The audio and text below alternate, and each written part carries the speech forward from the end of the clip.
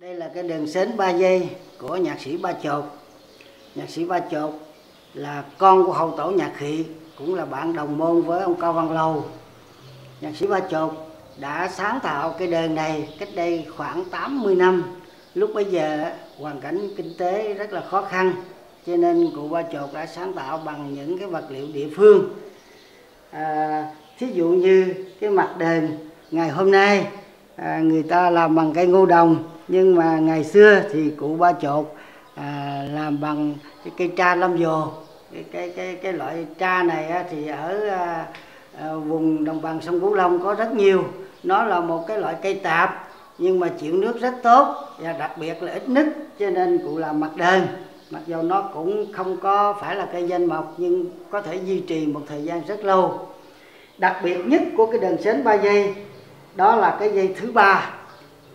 Đây cái dây này nằm ở chính giữa. Thường thường đàn sến là chỉ có hai dây, nhưng mà cụ ba chột do yêu cầu của nghệ thuật như thế nào đó, cụ đã sáng tạo thêm một cái dây thứ ba để nâng cái tính nghệ thuật của cái đờn lên một chút nữa. Vì vậy, cụ sáng tạo ra cái đờn này để áp dụng trong tất cả các bài bản của cụ.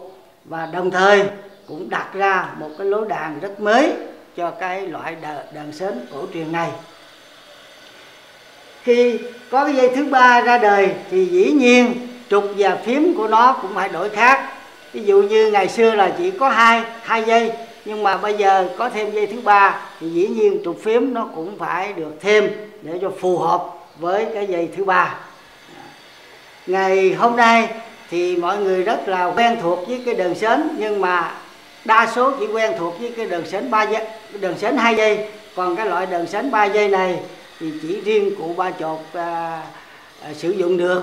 Ngày nay rất ít người sử dụng. Theo tôi biết á, thì hình như là không có ai sử dụng nữa. Chắc có lẽ là cách đờn của nó rất là khó. Vì vậy kể như nó thất truyền. Theo tôi thì đây cũng là một cái mất mát về nghệ thuật ờ, của các bậc tiền bối. Riêng về cụ ba chột thì sáng tác của cụ rất nhiều tới 18 bản chứ không phải chỉ có một cái bản lưu giang những cái bản của cụ thì đa số được áp dụng ở trong đàn ca tài tử Nam Bộ và kể cả trong cải lương hiện nay. Hình như là à, trong mọi tình huống mọi cái cuộc chơi đều có bài bản của cụ nhưng tiếc thay người ta sử dụng mà người ta không biết đó là tác phẩm của của của cụ ba chột.